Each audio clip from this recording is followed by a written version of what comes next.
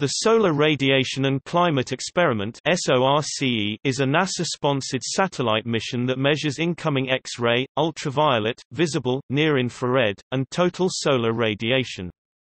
These measurements specifically address long-term climate change, natural variability and enhanced climate prediction, and atmospheric ozone and UVB radiation.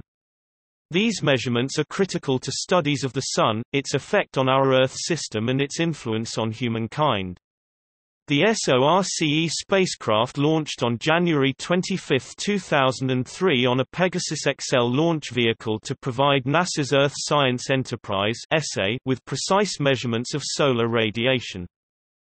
SORCE measures the Sun's output using radiometers, spectrometers, photodiodes, detectors, and bolometers mounted on a satellite observatory.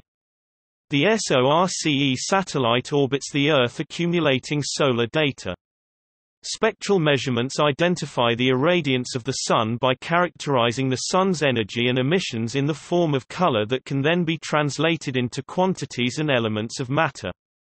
Data obtained by the SORCE experiment can be used to model the Sun's output and to explain and predict the effect of the Sun's radiation on the Earth's atmosphere and climate. Flying in a 645 km, 40-degree orbit, SORCE is operated by the Laboratory for Atmospheric and Space Physics LASP at the University of Colorado at Boulder, Colorado. It will continue the precise measurements of total solar irradiance that began with the ERB instrument in 1979 and has continued to the present with the ACRIM series of measurements. SORCE will also provide the measurements of the solar spectral irradiance from 1 nanometer to 2000 nanometers, accounting for 95% of the spectral contribution to the total solar irradiance. SORCE carries four instruments including the Total Irradiance Monitor TIM, Solar Stellar Irradiance Comparison Experiment SOLSTICE, Spectral Irradiance Monitor SIM, and the XUV Photometer System XPS.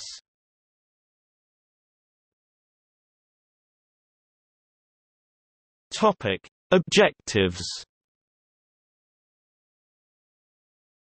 The science objectives of the SORCE mission are to make accurate measurements with high precision of total solar irradiance, connect them to previous TSI measurements, and continue this long-term climate record.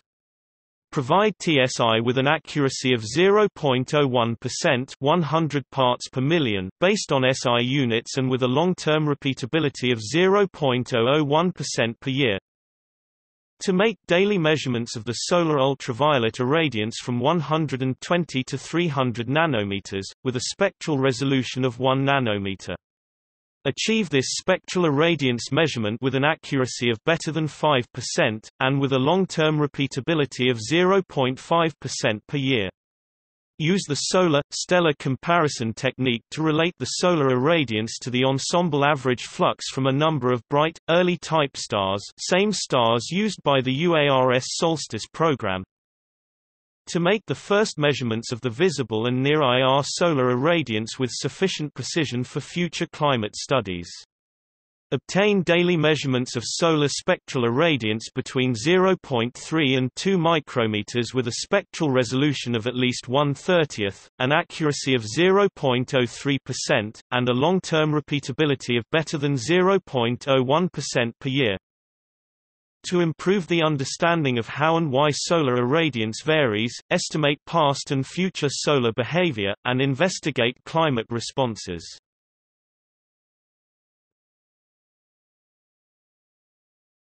Topic: Solar irradiance monitor.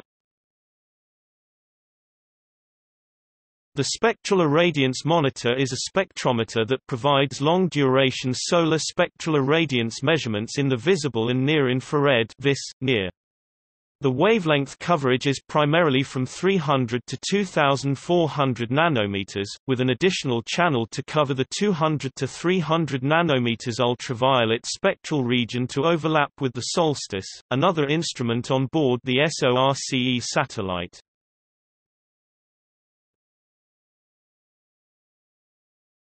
Topic. See also Upper Atmosphere Research Satellite